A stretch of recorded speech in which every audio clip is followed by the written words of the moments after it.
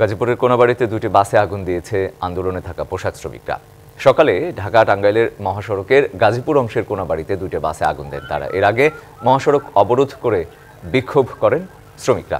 এ সময় পুলিশের সাথে পোশাক শ্রমিকদের ধাওয়া, পাল্টা ধাওয়ার ঘটনা ঘটে।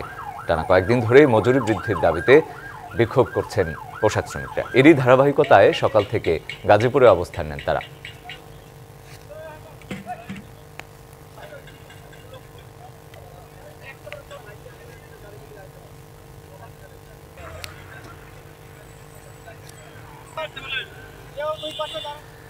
গাজীপুরের কোনো বাড়িতে এই মুহূর্তে আছেন সহকর্মী মাহমুদা শিকদার। তিনি সবশেষ পরিস্থিতি জানাতে যুক্ত হচ্ছেন। মাহমুদা বাসে আগুন দিয়েছে দুটি আমরা জানি পুলিশের সাথে ধাওয়া পাল্টা ধাওয়ার ঘটনা ঘটেছে। এখন সেখানকার পরিস্থিতি কি? 90 Hz refresh rate, 8 GB rapid memory, performance সেরা স্টাইলে করা নেক্সট জি এন সেভেন্টি এর আগে আমি জানিয়েছি যে গাজীপুর ঢাকা ম- মহাসড়কটি অবরোধ করে বিক্ষোভ করছে পোশাক শ্রমিকরা ইট কাঠ এবং গাছের গুড়ি ফেলিয়ে কিন্তু পুরো রাস্তা তারা অবরোধ করে রেখেছিল যাতে যান চলাচল করতে না পারে। কিন্তু কিছুক্ষণ আগে আমরা দেখেছি যে আজমেরি পরিবহনের দুটি গাড়ি। দুটি গাড়িতে আসলে অনেক যাত্রী ছিল। সেই যাত্রীদেরকে নামিয়ে একদম রাস্তা অবরোধ করে গাড়ি দুটিতে তারা আগুন ধরিয়ে দিয়েছে। আপনি দেখতেই পাচ্ছেন যে এখানে একটি গাড়ি আছে যেটি এখনও পড়ছে আর আরেকটি গাড়ি যেটি আছে সেটি আসলে একদম পোড়া শেষ বললেই চলে। এবং এর পাশাপাশি এই পরিস্থিতি মহাসড়কের যে পরিস্থিতি এই উত্তাল পরিস্থিতি নিয়ন্ত্রণের জন্য পুলিশ র্যাব এবং তার পাশাপাশি বিজেপিও মোতায়েন আছে। তারা এই আহ, মহাসড়কে কাজ করছে। আমি এখানকার একজন ড্রাইভার আছেন আমি তার সাথে একটু কথা বলব যে কে বা কারা কীভাবে আগুনটা দিয়েছে আমরা একটু তার কাছে জানতে চাইব।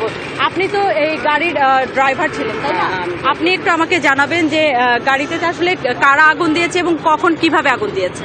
আগুন দিচ্ছে প্রথমত গাড়ি আমাদের সামনে আমাদের আমার সামনে পাঁচ সাতটা গাড়ি ছিল। সমস্ত গাড়িগুলো ভাঙিয়ে গ্লাসগুলো সব ভাঙিয়ে চুরমার করে ফেলাইছে।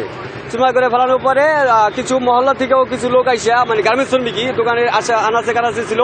ওরা আইসা, আমি গাড়ি থেকে স্টেশনে নামা অবস্থায় নামতে পারি না, ঠিক আছে? কিছু আগে আগে ড্রাইভার মারছে, মারার পরে আমি ভয়তে নেমে চলে গেছি। আমাদের গাড়িতে কাগজপাতি ছিল, কাগজপাতি নিয়েও আমি নামতে পারি নাই। আর আইসাই গার্মেন্টস শ্রমিকগুলো আইসে মহল্লার ভিতরে ঢুকে আইসে আমার গাড়িতে ওই কিছু জুট কাপড় দিয়া, আমার প্রতিটা সিটি সিটি আগুন ধরাই দিয়া ওরা চলে গেছে, মহল্লার ভিতরে আবার ঢুকে গেছে। রঞ্জন, আপনি শুনছিলেন যা উনি বলছিলেন যে বেশ কিছু পোশাক শ্রমিকরা এসে এখানে আগুন দিয়েছে। এর সামনে যে গাড়িটিতে আগুন দিয়েছে আজমেরি পরিবহন। সেই পরিবহনের যে ড্রাইভার আছে, তার কাছে আমরা জানতে চেয়েছিলাম যে কে বা কারা আগুন দিয়েছে। সেখানে কিন্তু ড্রাইভার আমাদেরকে জানিয়েছিল যে, একজন মহিলার নেতৃত্বে বেশ কিছু লোকজন এসে আসলে গাড়িটিতে হঠাৎ করে পেট্রোল ঢেলে পলিথিনের মাধ্যমে তারা আগুন ধরিয়ে দিয়েছে। এবং এখানের পরিস্থিতি স্বাভাবিক রাখতে আপনি দেখতেই পাচ্ছেন যে, পুলিশের পাশাপাশি আহ, পুলিশ র্যাব এবং তার পাশাপাশি বিজিএফও কাজ করছে। এখানে সকাল থেকে আসলে পরিস্থিতি খুবই ভয়ানক পরিস্থিতি তৈরি হয়। মহাসড়ক পুরোটাই তারা অবরোধ করে রাখে এবং অবরোধ করে তারা বিক্ষোভ করে। তার পাশাপাশি ইট পাটকেল ছুঁড়ে প্রচুর পরিমাণে গাড়ি ভাঙচুর করছে। আমরা সকাল থেকে দেখতে পাচ্ছি যে অনেকগুলো গাড়ি তারা ভাঙচুর করেছে এবং ঢাকা থেকে যে গাড়িগুলো ফিরছে, প্রত্যেকটি গাড়িরই আসলে সামনের যে গ্লাস আছে, সেই গ্লাসগুলো ভাঙা।